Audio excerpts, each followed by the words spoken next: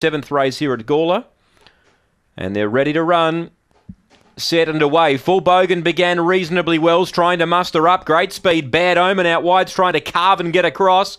Booting up Full Bogan, but Bad Omen gets a length over. Now the roughie uh, gets about a length, yeah, clear of Full Bogan. Two and a half lengths away to Perry Bale. Then Atkin Bale making ground was Miss Footloose. Wider out dancing Brett too far back. Uh, well back in the field, Miss Collectible and Spring Jessica last. It's still Bad Omen leading by two, and the bolt is not stopping at the moment. Full Bogan can't get there at the moment at least. And in front, Bad Omen goes all the way from Full Bogan. Atkin Bale got third, Miss Footloose fourth, then Dancing Brett. Uh, then came behind the Miss Collectible. It was towards the rear with Perry Bale and Springs Jessica was back to the rear, and it was that sort of race. The Roughie wins. Bad Omen. Absolutely no form to recommend it for punters. Bad Omen, number eight.